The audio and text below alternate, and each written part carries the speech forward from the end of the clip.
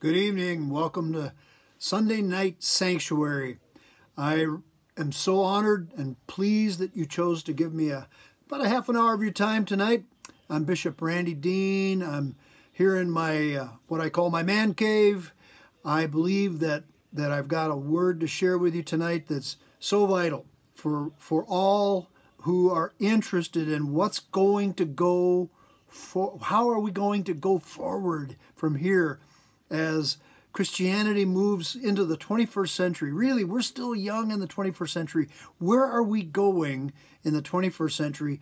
What will we look like? And especially given what has just become of the evangelical church over the past oh more than 20 years but especially the last 20 years as evangelical church has merged itself uh, forged a, a marriage with conservative politics in the United States. We've created a nationalistic view of Christianity in America that is absolutely incompatible with the kingdom of God view that Jesus came and presented when he was on earth.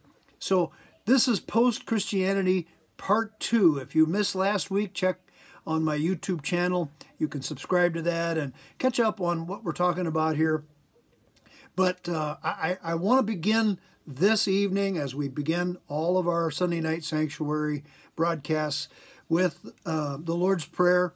And we will conclude at the end of this half hour with communion. So if you have some form of cracker, wafer, or bread that you use or love to use, or anything that will remind you of communion, join me in communion, please, at the end of this time together and have a glass of wine or juice or whatever again it bring that will bring you into a true sense of sacramental communion at the end of this time together. So with that, let's begin with the Lord's Prayer. Uh, many of you who've watched before know that I love to pray with my eyes open. It's not a formula, it's an invitation. Twice in the Gospels, Jesus prayed with his eyes open. I believe it, it invites an adventure. Something could happen, and it may just be nothing more than just changing the mix of your own mind and your approach in prayer. The Lord's Prayer is an anchor for my soul. I pray that it is for yours as well. So please join me in the Lord's Prayer, all right? Our Father, who art in heaven, hallowed be thy name. Thy kingdom come, thy will be done on earth as it is in heaven. Give us this day our daily bread, and forgive us our trespasses as we forgive those who trespass against us. And lead us not into temptation, but deliver us from evil. For thine is the kingdom and the power and the glory forever and ever. Amen. I love to feel the weight of heaven in my hands when I pray. It really does happen. And I love to press to my heart the weight of heaven for my heart, to press into my inner living the beauty of what I just prayed. And I do believe in the beauty of the Lord's Prayer, and that the beauty of that can be just physically present and felt in a moment like this. So I want to leap toward the subject hard and fast today. I, I have a lot on my mind, a lot to share. I don't want to overwhelm you, but I do want to I do want to give you so much uh, food for thought, uh, building blocks for your your intellectual inspection of what has become and what needs to become of evangelical Christianity in America. First of all, evangelical Christianity is a pretty modern construct. Uh, evangelical Christianity hasn't been around for much more than maybe 150 years at the most. And it's predominantly an American invention. It's predominantly an American uh, practice. We've, we've exported it around the world, to be sure. The, the evangelical mindset. Now, I, I want to be sure you understand that I'm the product of evangelical faith. My mother and father, though they came late in faith in the later years of their life, they were devout evangelicals. My mother was a praying evangelical mama. This little boy wouldn't be here if it hadn't been for an evangelical mama praying her heart out for me. So I, I bear no animus, no no anger in general toward the evangelical church. That's not what this is about. What this is about is that if we became an evangelical construct 150 years ago, then we can just as much become something new and fresh and beautiful as we go forward in the 21st century. That evangelicalism served us. It served us well. I, I don't argue that it served a powerful and beautiful purpose for a good many decades but we've reached a point where it drifted. You know, we, we don't often reject, we simply neglect. We don't reject valuable uh, policies, valuable values. That's uh, valuable values. We we tend to neglect it.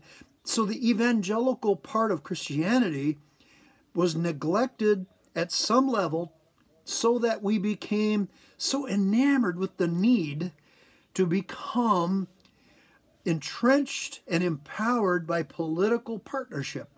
That political partnership evolved towards something I don't think anybody, when they began that process, could see it becoming. And now it has become.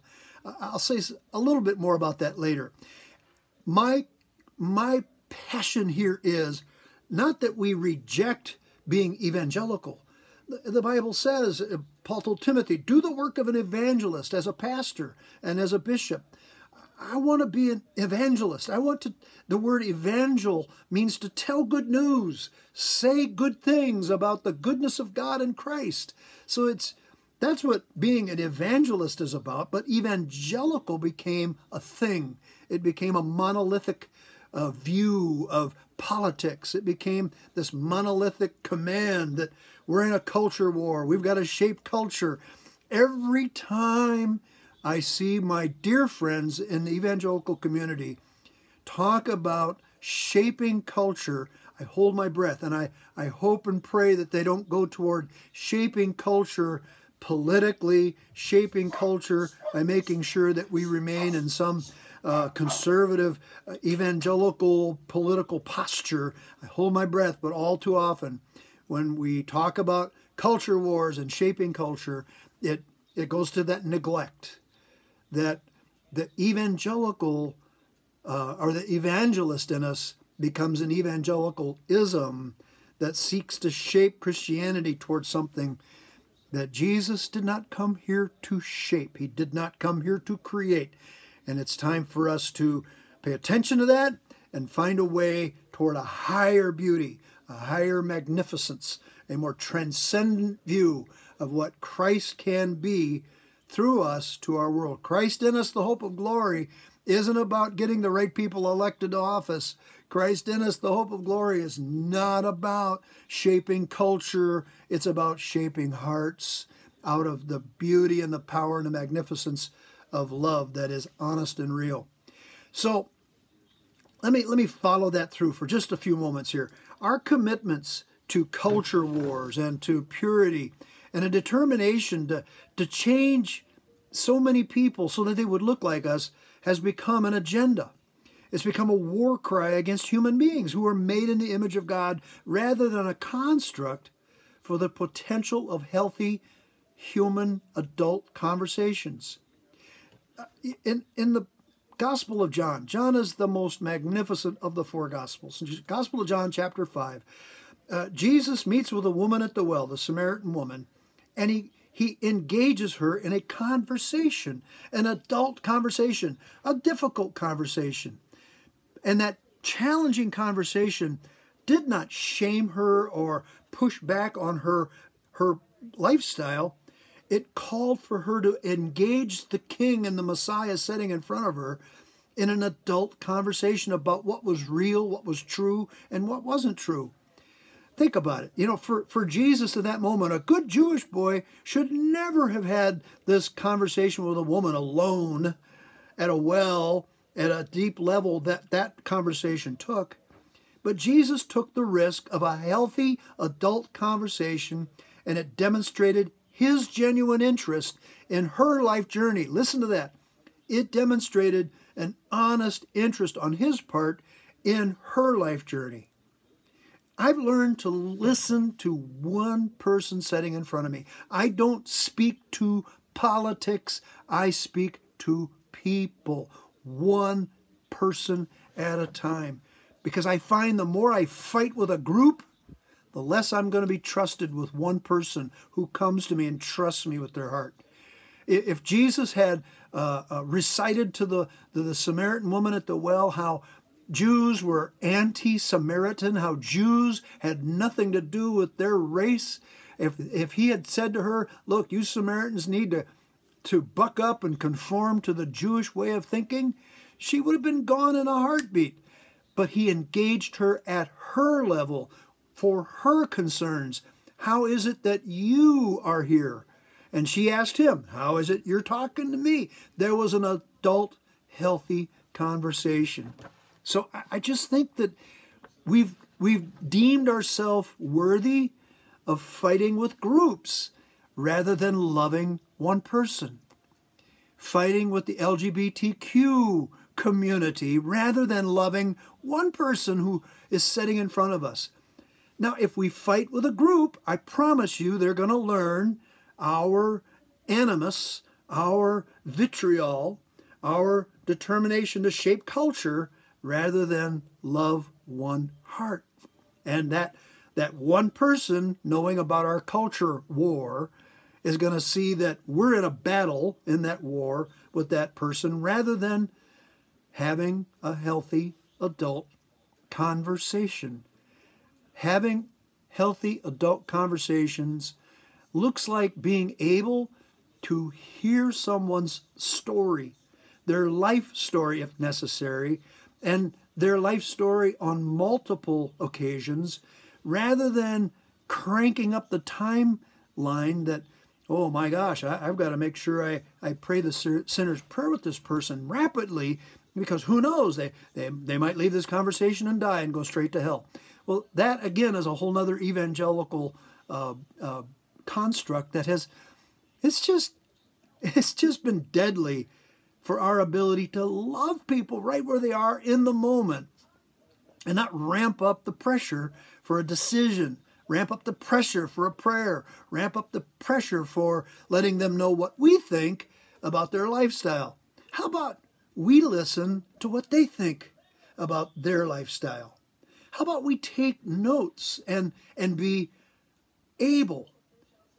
Love is patient. Love is kind. Love, love doesn't care who's right. Love cares what is right.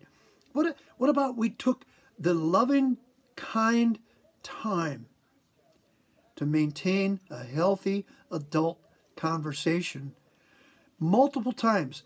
I believe that if we did this one on one times 100 times a thousand, we, we could begin to, to slowly but surely turn this, this ship of Christianity away from the political evangelicalism we've become toward a genuine followers of the beauty of Jesus.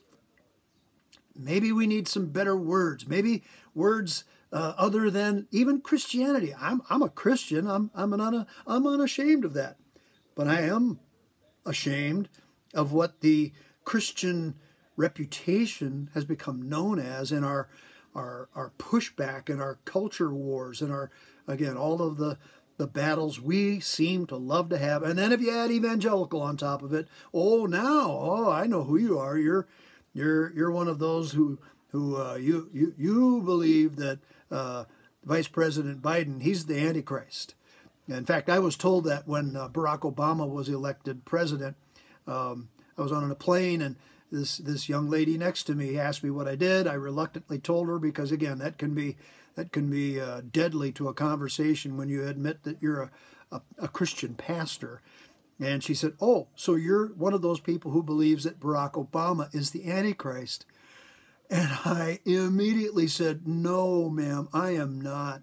That is not who I am. And I'm sorry you've heard that. And I'm sorry that's come into your your line of, of, of sight through people who call themselves evangelical Christians. And please hear me when I say I love President Barack Obama.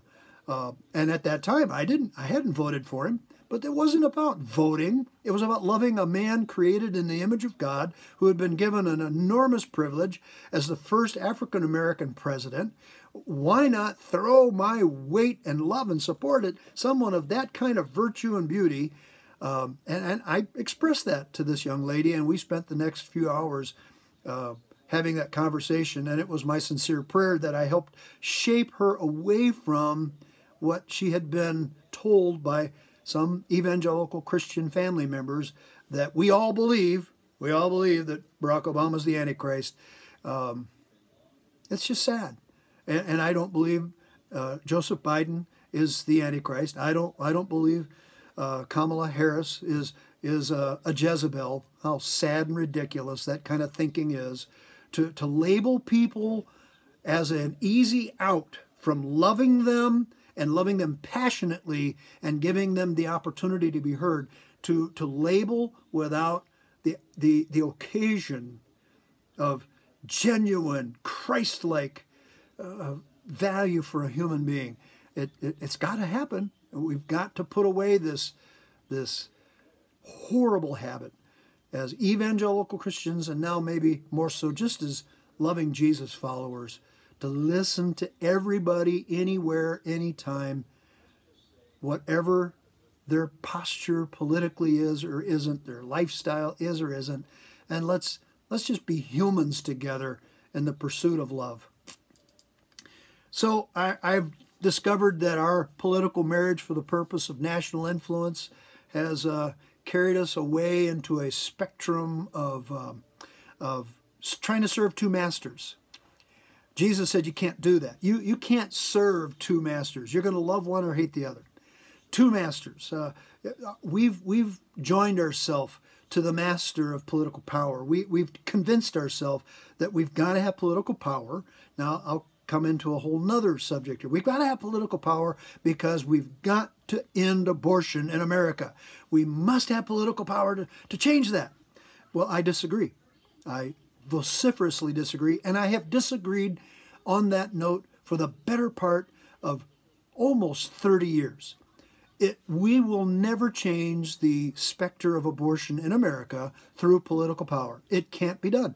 Even if by some stretch of a weird imagination we could have that law struck down, which I, in my lifetime, I don't think that's going to happen. But if we did, we could strike that law down and suddenly abortion became 100% illegal in the United States, we would still not solve the specter of abortion in America.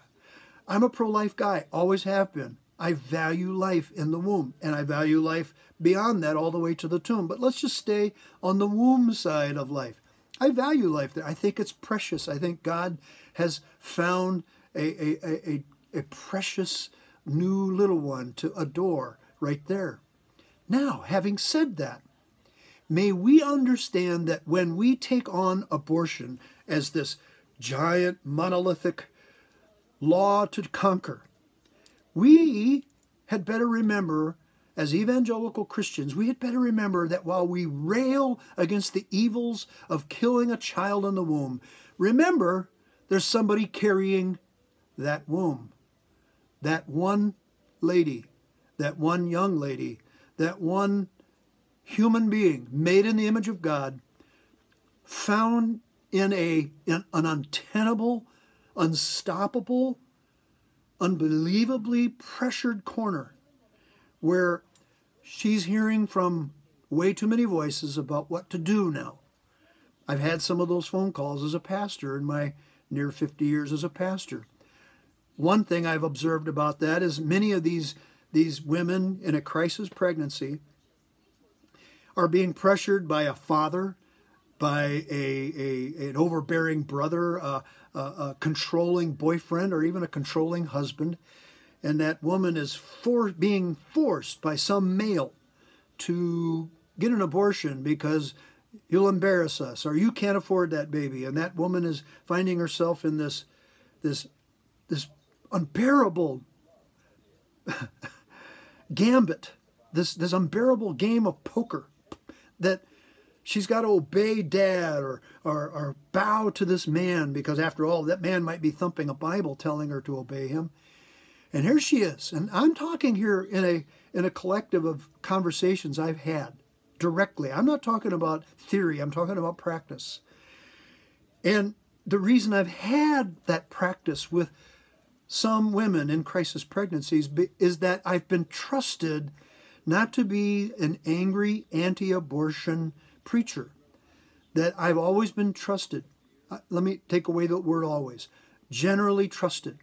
Generally trusted that I'm not going to land on you with both feet. I'm not going to come at you with the the the abortion is is a violation of God's law. I'm not coming at you with any shame or blame. I will listen to you and give you the opportunity to discuss with me what's happening in your life. Now, so that's a little bit of a background for where I come from and where I've come from for a long time. Uh, but I'll tell you one little story before I go on to the, to the to the some solutions and ideas. Uh, back in the late 70s, early 80s, I listened a lot to Dr. James Dobson, Focus on the Family, uh, on the radio. He had a young man who had been orphaned most of his life on to tell his story about his journeys through orphanages and foster homes and the sexual abuse and the physical abuse he had endured. It was, it was heartbreaking. And so uh, Dr. Dobson was leading him in the conversation about how pro life is the way we should go with seeing to it that a child like yourself, the, the, this young man who was a, an adult that had been orphaned, uh, aren't you glad that mom didn't throw you away? And he said, Oh, absolutely, that I got the chance to be here. I couldn't be here today telling my story, but he he essentially interrupted Dr. Dobson. And now this formed me, this shaped me, this comment from him shaped me powerfully. He said, But can I just add quickly? I want to ask all of my Christian friends to please be careful that you understand that if a baby isn't aborted and that baby is born, they can just as easily spend the next 18 years in abortion after birth. That after they're born, for the next 18 years, they're being rejected and beaten and blamed for poverty, blamed for my condition, blamed for where we are as a family, blamed for the shame you, you brought on grandpa and grandma or your dad or, or your mom. And that child for 18 years can suffer an emotional, psychological abortion. This is what this young man said, and he, he jumped it in there fast. And I don't know if Dr. Dobson knew that was coming or not, but it sure seemed to me he didn't. And those few moments hearing him talk about his post birth, 18 years of being aborted, shaped me. It reminded me that if I want to have any voice about abortion in America, then I'm going to have to put my life and my practices and my money and my values where my mouth is. I'm going to have to stand up for women who are in a crisis pregnancy who are, who are who need an option after they choose to keep that child. They need financial options. They need educational options. They need mental health options. They they need the support of the church. They need, you know, I read last week from James. He said, pure religion undefiled before God is to visit, set a guard on the widows and the orphans. Listen, an orphan is anyone abandoned. A widow is anyone that's been abandoned.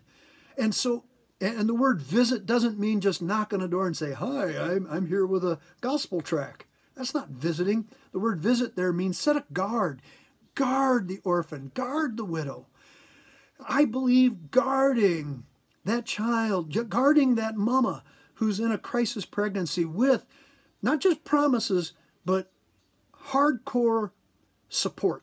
When you make a choice to keep that child, we are in a hardcore effort with you to, to sustain and maintain educationally, mental health, uh, whatever we can do humanly possible. We're going to step up and stop fighting abortion and start fighting for your life, young lady, your life, child, your life, your one life. We're going to fight for you so that you have bigger and better options.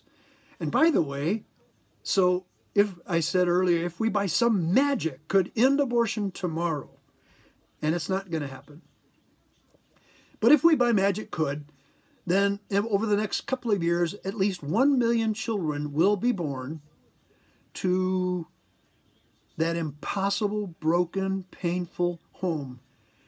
And then what? Will we continue to thump our chest and crow how we how we broke the back of abortion? Or will we face the raw and difficult reality that there are now a million or more babies being born in poverty, psychological challenges at home that there's no money, there's no resource to back it up, there's there's no education. Now what? So that's my point. And and and to that end, I have recognized, and I'm not here to, to battle statistics because I'm sure if I say a statistic, somebody will come on and comment their own. But it's statistic, as I've read it, statistically proven that abortion rates decline when there are political powers in play that are more liberal and more inclined to see to it that there is social help for women who have been caught in a crisis pregnancy, that there's educational, uh, medical health, uh, mental health uh, products, procedures, uh, opportunities after the child is born. So when moms see that I've got more of a chance to sustain a healthy life, they're more likely to keep that child and not consider abortion. I know it's not perfect. I know it's not perfect, but it's far better than being strident and loveless, fighting culture wars rather than fighting to love one person at a time. One person at a time. It's our failure to grow in an honest, passionate pursuit of love, loving our neighbor, loving our enemy, loving ourselves, loving God, that has ripped the heart out of evangelical Christianity. That the passionate pursuit of love that is risky, love that takes chances, love that goes beyond the norms, and it goes towards something that looks a whole lot like Jesus, who got himself in a lot of trouble and ended up being crucified, not by not by not by it's against the law to preach people, but it's um, law and order religion joined to law and order empire and politics that decided Jesus should be put to death. Well, I I have opened uh, at least a, a half a case full of can of worms Happy to do it. I'll be here next week to serve you. We'll do post evangelical Christianity, part three. I believe in this. I'm passionate about it. And I believe that there's there's there's better way than fighting culture wars.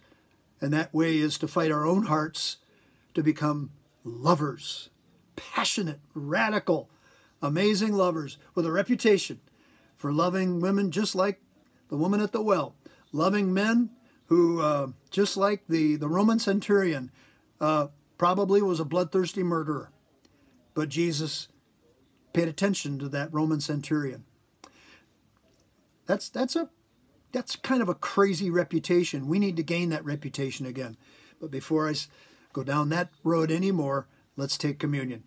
Let's receive this broken body of Christ broken for us. He said, This is my body broken for you. He didn't say, This is like my body. He didn't say, This is a symbol of my body. He said, This is my body broken for you. Eat this. Remember me. I am, I am in love with saying, when I eat the bread, I am remembering Christ to my membered body, his body to mine. I'm eating into the destiny that the body of Christ was broken for. I remember that. God, thank you for your Son's beautiful sacrifice of love.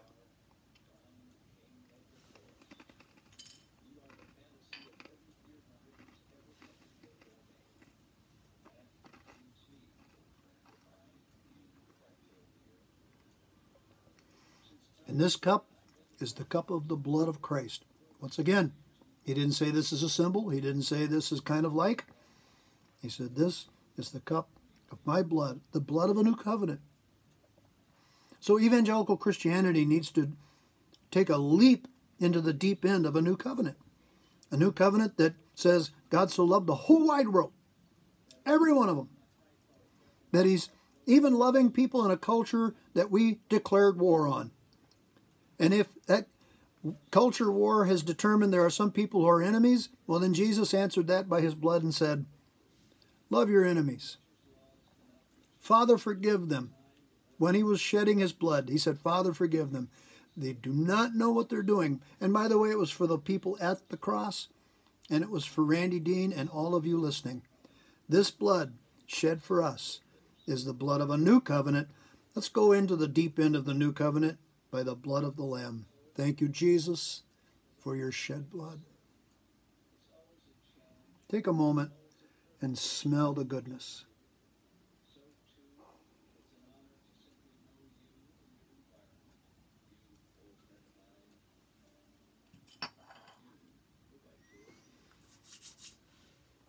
I'm glad you came here today. I know I jumped into the middle of several topics. Any one of them should have taken about an hour's worth of consideration. That's okay. I, I, I think we've got time here. We'll come back again next Sunday. We'll talk some more about post evangelical Christianity, part three. Connect with me on, um, on Facebook, Randy Dean on Facebook. I'm on Twitter, Pastor Randy Dean. You can find me there. Uh, email me at randydeanministries at gmail.com. Uh, all of these connections will be in the comments. Um, when I repost this YouTube video on Facebook, all of those connecting points will be there where you can find me. I have an, uh, a radio broadcast called the No BS Bishop. I'm alive to love. All lesser values are potential BS. And uh, I'm, I'm, I'm, I'm getting knocks on my door about getting help for uh, financial backing so that we can get that radio broadcast transmitted into a podcast. That would be a dream come true for me. So, No BS Bishop, you can Google that. No BS Bishop, WPCA Radio, Amery, Wisconsin. No BS Bishop, WPCA Radio, Amery, Wisconsin. Um, I'm also we're also here every Sunday night at 6 p.m. The rest of the contacts will be in in the uh, comments, as I said. One last thing, we do seek your financial support so that we can be a mission to America. I'm not I'm not looking to buy an airplane. I'm happy to have a, a 2011 Prius, Toyota Prius. Uh, I'm not looking to get a, a 2020 Prius yet because my 2011 is running just fine, thank you. What I'm trying to do is to build a, a ministry base that I can speak to a larger and larger audience with what I believe is a vital message that will propel Christianity out of the doldrums of our current uh, morass and take us towards something more beautiful that looks like Jesus. I'm really thankful you came came here today. You can, if you want to support us ministry wise, my PayPal, uh, Randy Dean Ministries backslash uh, Randy Dean Ministries backslash PayPal.me. It'll be in the comments. If I got that wrong, the comments will correct me. So I love you all. Peace, peace, and love. Let's let's go after uh, a new day for Christianity in the 21st century. Be here next Sunday, 6 p.m. Central Standard Time. Tell your friends. Thank you for being here.